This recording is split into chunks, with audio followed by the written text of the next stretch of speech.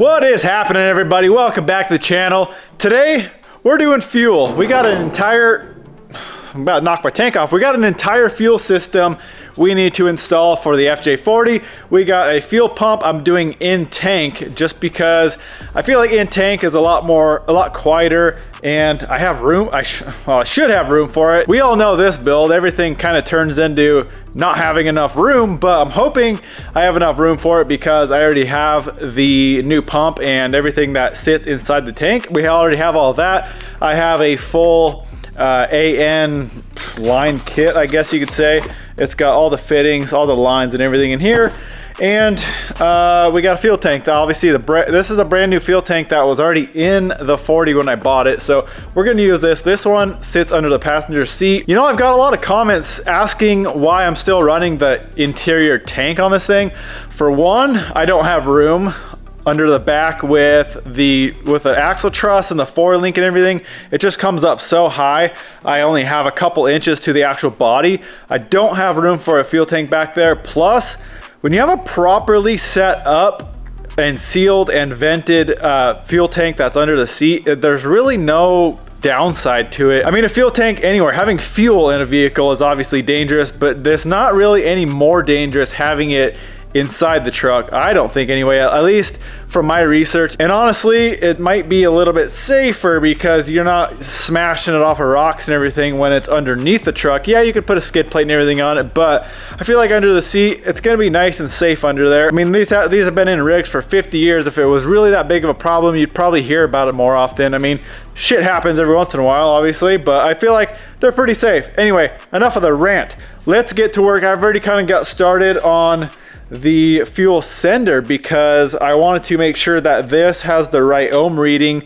for my Autometer instrument cluster that I have and turns out it's not the right one. So let's check this out. I'm gonna show you how to test these for the ohm readings on them. And then actually, this is a pretty universal like flange or mounting pattern. Autometer actually makes the correct one for the dash. You can actually run a few different set like ohm readings or whatever you wanna call it but Autometer has one that's compatible with the dash. So I'm just gonna buy that. But let's check this out real quick and then we gotta get the tank in the truck, get the seat in, make sure we got room on top. I hope I'm smart enough to have left enough room on top of the tank between the tank and the seat to where we can fit the fuel pump because it obviously sticks out of the top of the tank for the lines and everything. So let's do all that. Let's get this pump installed and run lines up. We got fittings for the back of the fuel rail it shouldn't be that bad of a job. It should be pretty easy, but let's get to it and see what we can come up with. All right, so you just hook up the red lead to the power terminal there, ground the case with the other black lead, and then throw it on your ohm setting right there. And then you'll just watch that ohm reading. You can see 125 about there, and then move that, you know, pull the flow up right there. And you can see it goes down to about 18, 17. So we're a 17 to 1. Why is that so much different now? There we go. 125, 128. You can see in here in the Autometer manual that came with my dash, you'll it'll work for 0 to 90, 240 to 30, 33, 73 to 10. There's one that's close. There's 16 to 158. But I think that's off enough to where it's not going to work very well. So like I said, Autometer makes one with the same mounting pattern. So I'm just going to buy that and uh, it should bolt right in. Let's get the fuel tank in, find a spot to mount our, this is our, uh, basically the whole pickup here with the fuel pump there. It's got a baffle and everything. So we got to mount that through the tank and hopefully, like I said, hopefully we got enough room for that fitting. That's sticking up about an inch. So hoping we got room. If not, we're going to make some room.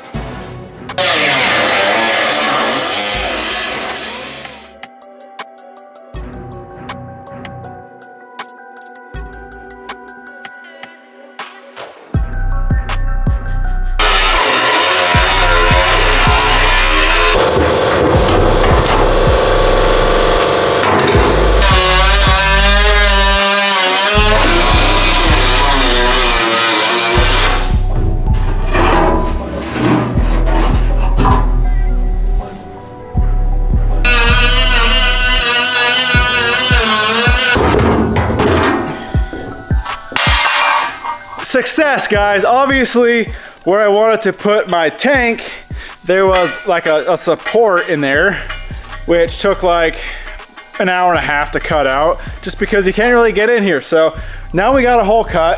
There's no support there. We should be able to drop this in and there's also a ring. A lot of people tack weld it. So I don't, I'm gonna figure out if I wanna tack weld it or just kind of try to bolt it in. But there's a ring that goes underneath along with a gasket. And then obviously we gotta get the whole fuel pump and everything installed in this hanger. And then we can get this dropped in the tank. But that was a pain in the ass. I didn't realize that there was like a support that ran right through the middle of where the only spot that this pump is gonna fit is right there. But we got it out. I think it's still gonna work. 감사합니다.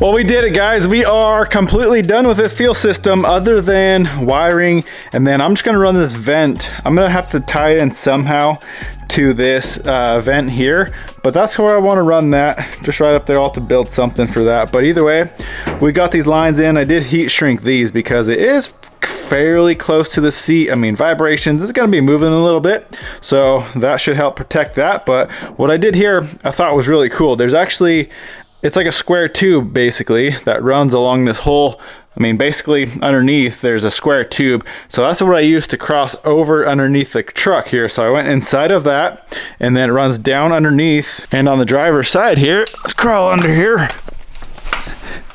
And you can see it comes out right up there. There is that pinch weld right there. So I did cover that up with some of that protective sheath. But we got this thing mounted up all the way up here, kind of on top of the frame rail actually. It fit really nice up there.